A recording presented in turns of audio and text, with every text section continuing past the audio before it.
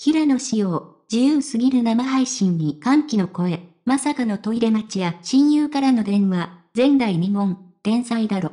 ライブ動画には最大37万視聴。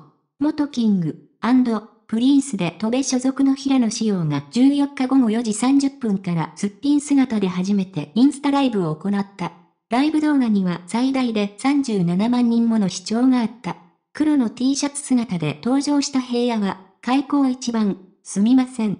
お盆中に、こないだ新、神宮寺雄太がインスタライブしていたでしょ。俺もやりたくて、マネジャーと話して決まりましたと説明した。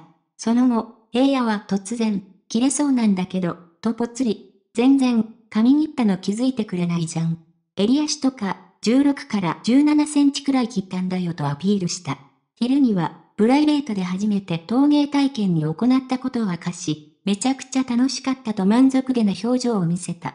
何でも、ペットボトルの飲み物をコップに入れてから飲むのにハマっているようで、コップ作りたくて。でも、むずしくて気づいたら花瓶作っていた。俺んちか一つもないのに、戸川は絡めた。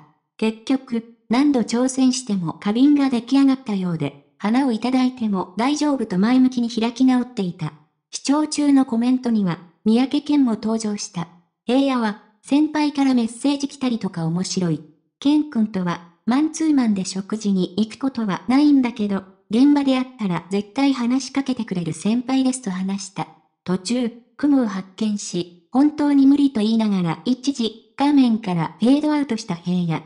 マネジャーが手で捕まえている様子を見て、すごい、スパイダーマンじゃんと称賛。苦手な理由は、フォルム。体型的に怖い。足4本じゃダメなんで、あんなにいっぱい生えているの俺らも、もうちょっと死が生えていたら親近感湧くかもしれないけど、集合体恐怖症だから目がいっぱいあるのが怖いと眉間にしわを寄せ、食べる企画は嫌だ。無理と即答していた。しかし、爬虫類の蛇は問題なく触れるようで、冬場とかマフラーとして負けるくらい平気。サンビーム蛇飼ってみたいもん。ツルツルでテカテカ。太陽の光で虹みたいに光るの。めっちゃかっこいいと明かした。その後もファンからの質問に答えた。夏らしいことはできていないため、花火は見ていない。お祭りも行っていない。イカ焼き食べたいな。焦げた醤油の味はっていうか、あれ美味しいよねと想像した。生配信から約45分経過した頃には、トイレに行きたいんだけどどうすればいいの ?13 時くらいに陶芸行って、ご飯でドリンク飲みすぎたといい、音量をオフにしてから席を立った。